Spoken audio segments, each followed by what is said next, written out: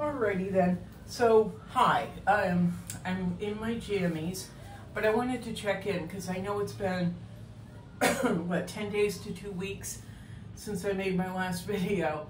And I, I just want to check in because um, it's not you, it's me. It's really not you, it's all me. Uh, I, my, I have an illness called RSD CRPS and we're having we're constantly having storms. Today happens to be sunny, but I can feel another rainstorm coming in because it's the rainy season, and they're they're really affecting my RSD.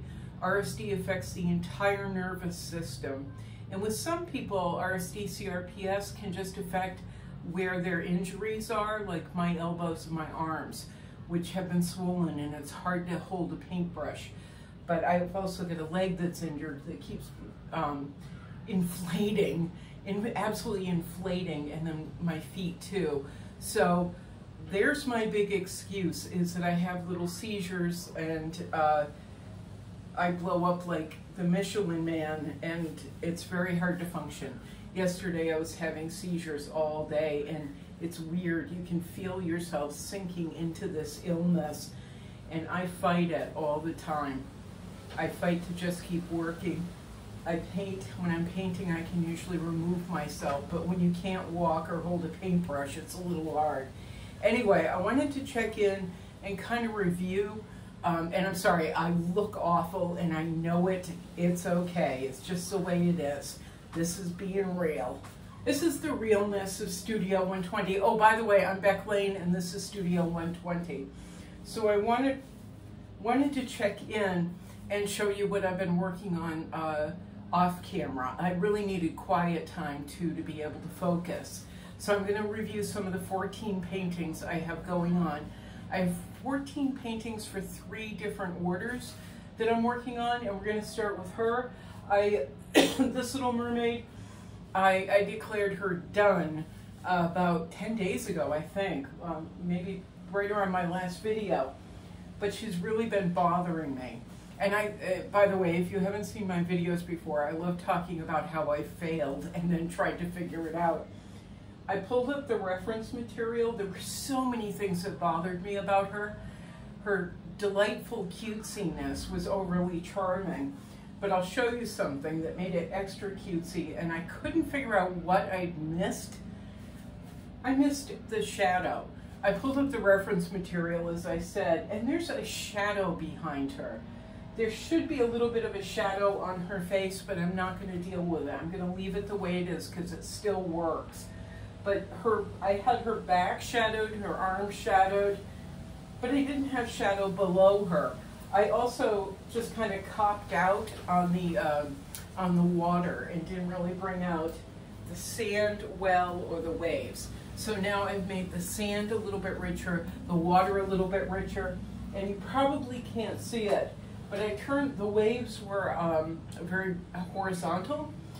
And what we want is to make sure that the, that the waves and the paintbrushes are kind of framing her. They're actually framing her bottom just a little bit and her back. But we want to make sure that everything is framing her. And with it all being horizontal, it just, it felt kind of flat.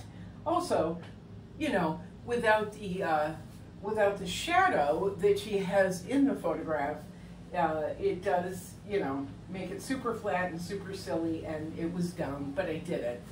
And I also took, I turned around and just, well, I always talk about looking at the reference material and really paying attention to it. And there we are. Um, I missed it. But I also took her lip. I had a, like this really big lip down here with kind of a pinkish, like a raspberry uh, lipstick. I removed that. I turned her uh, mouth more this way because in the reference material, her mouth was not tilted at an angle with a big raspberry lip. I was making it up and it wasn't working for me. So I turned, took her, took her mouth and made it a little bit more correct. Also her eyes. And what I had done, and this is, okay, you're gonna have to excuse me, my brain, my brain is having a hard time because of, because of the RSD CRPS with the weather we've been having. So if I kind of get lost, I always get lost. There's, that why, never mind, I always get lost. Anyway, um, where was I? I'm gonna get more lost than usual. Um, I, oh, I always talk, I can't remember. Anyway, um, oh, I know what it was. Okay, so I always talk about taking a painting, turning it towards the wall so you can see it with fresh eyes. And I've done it off and on for whatever I've been working on, 14 paintings for about a month. Um, I took her, put her in another room. I mean, I put her totally out of view. And while I'm working on other things, I would go and check on her and go, nope, don't like her. Uh, pulled her out a couple times, couldn't figure it out, but it happened yesterday. All of a sudden, I pulled up the reference material, see, saw her with fresh eyes, and was able to reconfigure. So, yay. We're going to call this little guy, this little lady, done. Reshaping her mouth and reshaping her eyes and finding that shadow was the key. So this is for um, this is for the same client. Um, I have I have several paintings going for this client. They need them for a very specific reason, and uh, I know the colors they need. I understand what their what their clients want. Um, I understand the colors. I said the colors they need, but the colors that will work in the um, for the situation they're going into. I can't be specific other than to be say colors a bunch of times. This is very bright. I do bright. This is very bright. Um, it's not me, but I, as I said, I do know what their customers want. So that's that's what I'm working on. Uh, what I've heard their customers ask for and talk about. So I was not going to make a vase because I don't like being obvious, but I felt we really needed to. We needed dark. So what I'm going in, I'm still working on this one because the paint was fighting me. So I'm letting it, here, let me move over here. I let it dry, once again turned it, put it against the wall, and now I can see where I can tone it down in a couple places. So it's not quite so, ah, but it will still have that bright effect, that bright, cheery, colorful effect. Because what I want, what I want for my client and then again for their customers or, or for everything that I'm doing for them to ride ride this line of um, cheerful and bright but not overly so. So we've got to tone it down just a bit. Um, the customer needs browns, browns mixed with oranges, so it will work with other items that they're selling, as well as teals and blues. This has a little bit of everything that my client has in their um, in their stores. And so I, I'm just reworking it because I know what they have, I know what their customers have asked for. The hardest thing in this one is the yellows. The yellows are too much, and um, I know that their clients don't ask for a lot with yellows.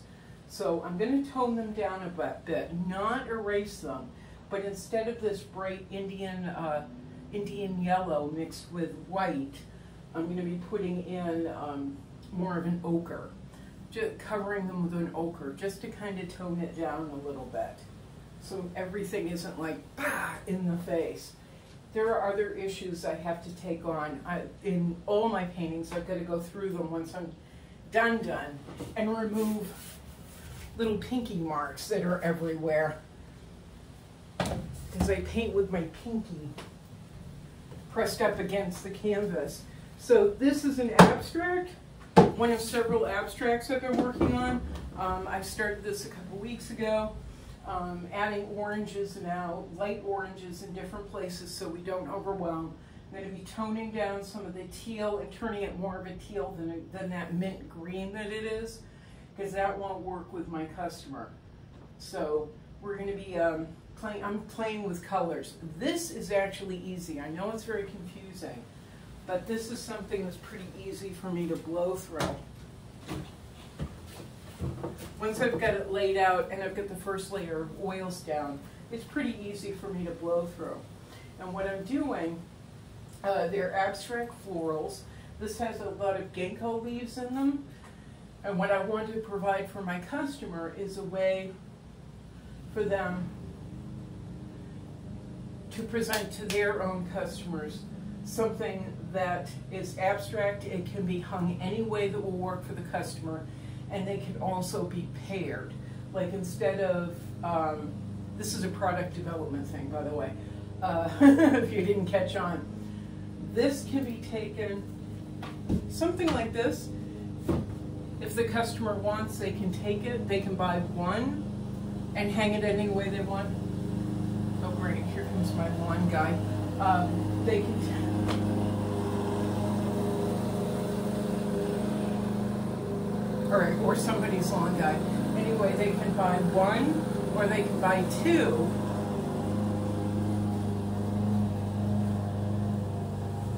Okay, they can buy one or they can buy two, and they can, one can be hung, let's say, this way, buy a second one, turn it, and you've got a painting that has a slightly different feel, but it will also pair. So, and it also provides the opportunity for customer to have a new painting every few months. They can just take it and turn it and turn it. Right, it's somebody's lawn guy. Let's keep going.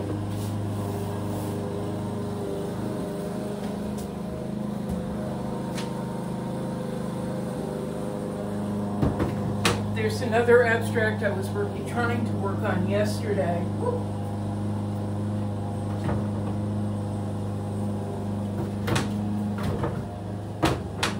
There we go. Uh, there's another abstract I was trying to work on yesterday, abstract floral. Today I'm going in and I'm adding teals and I'm lightening up these browns. I was trying to add orange, but it wasn't working. I have to tone some of these uh, brighter colors or darker colors down and make them a little bit more muted going in around. I think it's Brian again, I'm not sure. My neighbor Brian, he's obsessed with his lawn. Yep, it's Brian, it's not my lawn guy. Anyway, um, this will be in different shades of blue. These are going to be those sleeves are going to be like a gray blue. Uh, I'm just going to, oh God.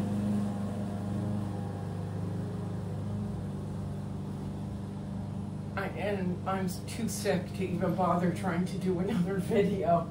We're, we're going to get through this. Anyway, uh, I'm going to tone down some things, bring out some things, because we don't want this to be like, boom, there's a painting in your room.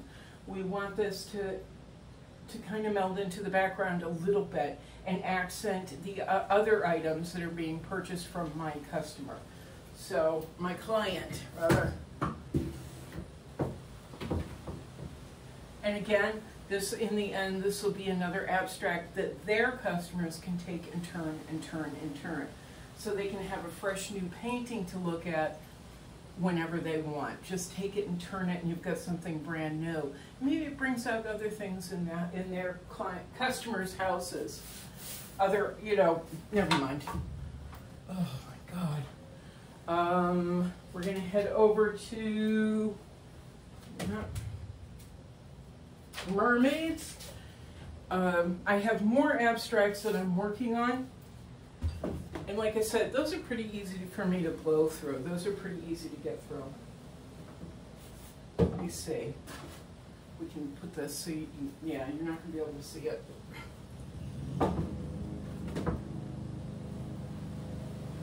Brian is obsessed with his lawn.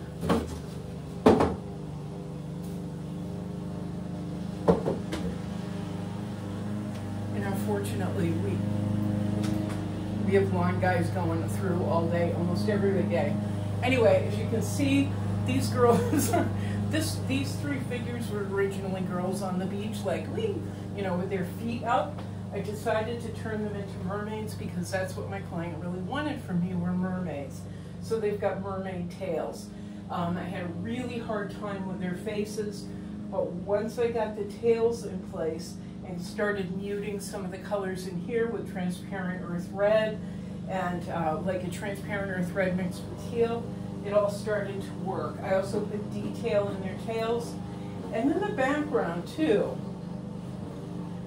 And I learned a lot doing the background. And I'll talk about that in another video because Brian's just going to keep mowing his lawn. Um, But I learned a lot in this that I was able to transfer to other paintings. So let's move on. This still has a little bit of a ways to go. There's several things missing, so I'm keeping it out. I'm, oh, one of the things is detail in the fringe. I actually started working on that two days ago after I did the sea and stuff. Mermaid number two, three. This is mermaid three, sorry. Um, this is something I started, see. I actually did this on camera. I laid it out on, on, I believe, on video. And this is where we are with this particular mermaid. I loved painting this umbrella. I love painting the umbrellas. It's so much fun for me. So we've got the umbrella in. I started putting in the water. But this is obnoxious, her tail. So what I'm going to do is what I did with the other mermaids. This is going to be muted. In the reference material, this is very bright. Well, we've got to mute this down a little bit. It's just too much. And no one is really looking for lime green to put in their homes. So this is going to get hit with transparent earth red again. Just kind of tone it down because this is the focal point instead of this. This conveys almost an Art Deco feel, um, and this conveys, hi, look at me. So we're going to tone that down just a tad. Mermaid number four.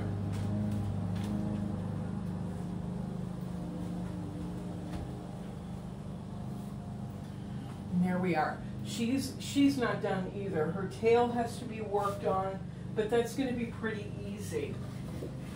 Because what I'm doing is, is going, taking what I've learned in the last painting and transferring it to the next painting. Uh, that happened in the umbrella, although I have to do some highlights. That, that is happening in the sand and is happening in the water. What I'm doing is I'll work on the, all the mermaids one day so I can take what I've learned from one mermaid and transfer it to another painting. And the same thing with the abstract uh, flowers. What I've learned in this painting, okay, let's quickly go over to the, the other florals and transfer that information. So this is what's going on. Um, her face has to be a little, I'm rethinking her face because it's going to be lightened up and brightened. Right now she kind of looks like a meth addict, so we've got to knock the meth out of her. Like I said, I'm working on, going to work on her tail and highlight some of the umbrella, then go through with the sky, and then kind of hit the sand up the way I did the water. I, oh, I wanted to share with you what I learned while painting water. The waves aren't, aren't lines. They're not just lines. What I'm doing is I'm drawing with the, uh, I'm drawing just ovals. Just ovals in dark. And then going over them with lighter colors.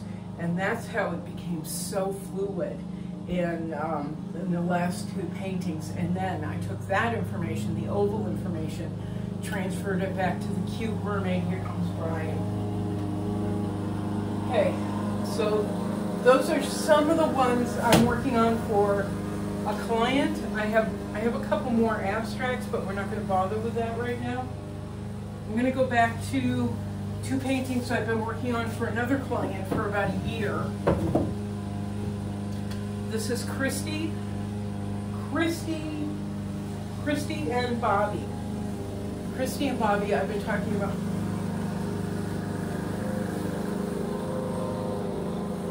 He's right outside the window. Um, Christy and Bobby, the water that I had applied to the canvas, it was aqua.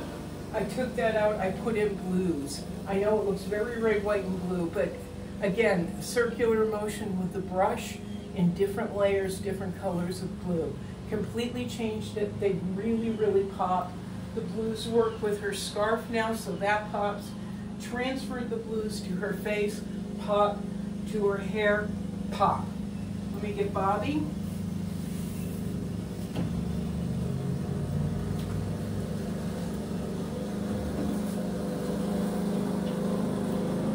And there's Bobby.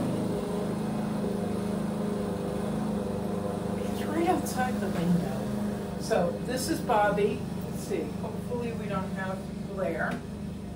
Once again, uh, repainted the water from really aqua teal to blue. So it is water. It is blood surrounding around him. Really got it to flow. Reconfigured his head, his the top of his head, his eyes, his mouth, and I also added greens.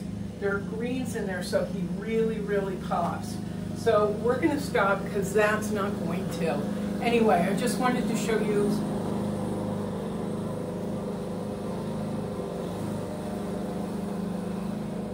some of the things I've been working on for the past couple weeks off camera. Um, I will do a live live feed, and hopefully no one will be mowing any lawns when we do it, and I'll be feeling a little bit better. I'm actually better than I have uh, today than I was yesterday. Yesterday was really, really, really bad. So this is where we are. One, two, three, four, uh, five, six, seven, eight, nine, ten, eleven, twelve. 14 or 15 paintings I've been working on off camera since uh, the last video. Anyway, let's say ciao. Let's wish Brian well.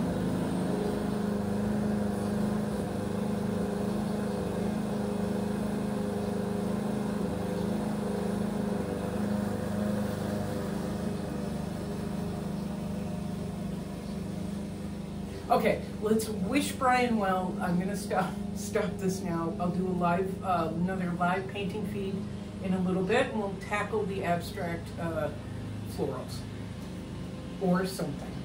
All right. Oh my God.